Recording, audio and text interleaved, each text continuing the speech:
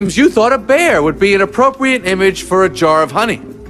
Well, they're very lovable creatures. Uh, Yogi Bear, Fozzie Bear, oh, Build-A-Bear. Yeah, you mean like this?